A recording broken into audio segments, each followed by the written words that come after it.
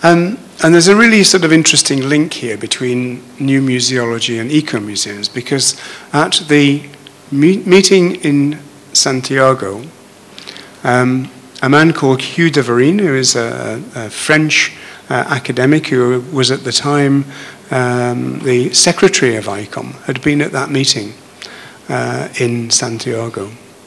And in fact, even before that meeting took place, he developed a new word, a different word, um, for this idea of, of creating museums which would uh, assist local communities. So a word that, if you like, um, which enabled people or encapsulated the idea of creating museums that would use local heritage, driven by local communities to aid development. And this word he came up with was eco-museum, écomusée uh, in French. Um, and he developed it, interestingly, I think, for use by the French Minister for the Environment, who was addressing a meeting of ICOM at uh, Dijon in France in 1971. Um, and that's, you know, for me, it's, it's very clear that, that here Eco Museum then was developed with a very um, political dimension, you know, because it was developed specifically for a very high level politician to use.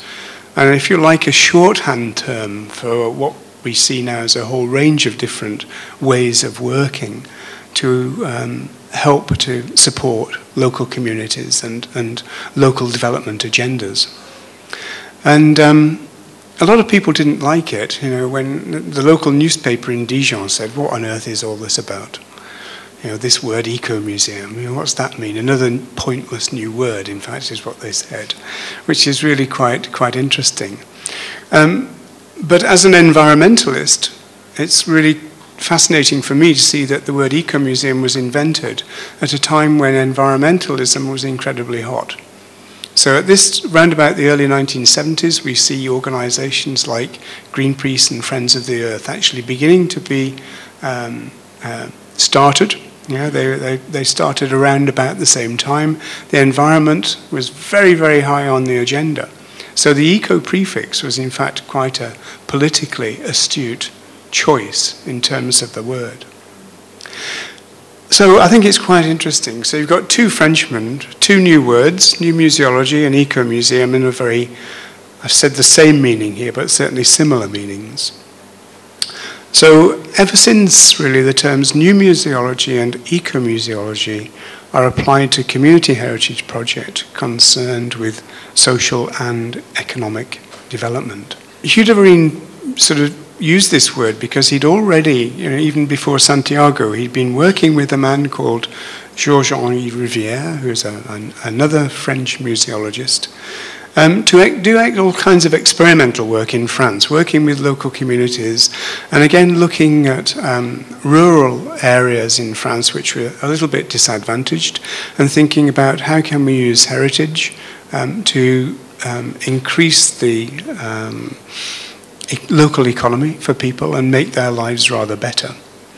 Uh, and also um, to try to sort of interpret some really interesting landscapes. Um, two very different people. Rivière was uh, an ethnographer, uh, uh, an ethnologist, and who was particularly concerned by what he saw as the disappearance of French rural material and intangible culture. Okay? Um, you know, he saw the way in which the countryside was changing really dramatically in France with new agricultural techniques, different ways of life. So he was really concerned about that, and he thought we needed a, a different model to, to try to conserve it.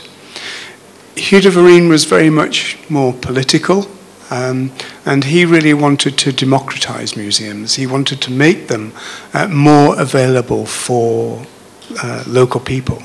And um, he saw museums as having this development agenda. So the sort of two things sort of came together and, uh, and, and developed this really interesting approach, which in a way transferred museums from being something about a building to being a museum as place, museum as a territory, museum as a defined geographical area. Okay? So we're going outside the confines of the museum, rather like that um, Reinwardt Academy definition of, of, of museology. And beginning to think about museums as being more about place and the people that live there and the, and the culture that uh, is embedded within that region. Really, ever since the word was invented, people have been trying to define what an eco-museum is. Uh, and René Rivard, who's a, a French-Canadian uh, museologist, come, came up with this definition which enables us to make a contrast between what we see as an, a museum and what is an eco-museum. So he defined a museum as a building plus collections plus experts plus techniques. Okay? So the traditional Western view of the museum, if you like. And he defined the eco-museum as being a territory, okay, a defined geographic area, plus heritage, all the things that are in it, both um, tangible heritage and intangible heritage. Memory, in other words, it's about the people who've lived there and the memories that they have about a place. Um, since then, it's really quite interesting, I think, in the way that ideas about eco-museums have developed. Because originally they were very much about this geographic dimension and things like that. But over recent years, as experimentation and development of eco-museums has continued, they've become much more involved with development and sustainable development. So there exists in Europe what's called the long network of eco-museums. It's now called local worlds. But they defined uh, in 2004 the Eco Museum as a dynamic way, and in fact a, a changing way then, in which communities preserve, interpret, and manage their heritage for sustainable development. An eco museum is based on a community agreement. And in 2007, I shortened this even further when I published uh, an article about eco-museums and sustainable development. Uh, and I called it, I, said that an eco-museum is a community-driven heritage project that aids sustainable development. So, you know, if you want a concise definition, you know, that's what it is. I think what's really interesting, and I'll show you some examples in a moment, but I've visited eco museums all over the world, and everyone is different.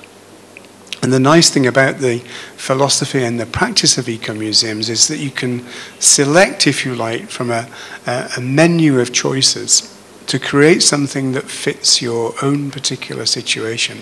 And this is why they are all so different. Um, so if we wanted to try to represent the uh, Eco Museum graphically, this is one way of doing it. This is, make, this is Rivard again. So this is a representation, if you like, of the traditional museum. This is what they look like, you know, very um, elaborate and, and grand and uh, prestigious buildings. And inside we've got wonderful collections, experts in particular subjects and a range of defined techniques which we've been developing over a period of 400 years or so in, in Europe. Uh, and if you're very lucky, you might be allowed in from time to time. Okay? And you can go in there and receive the perceived wisdom um, of these curators who are telling you the stories that they've devised.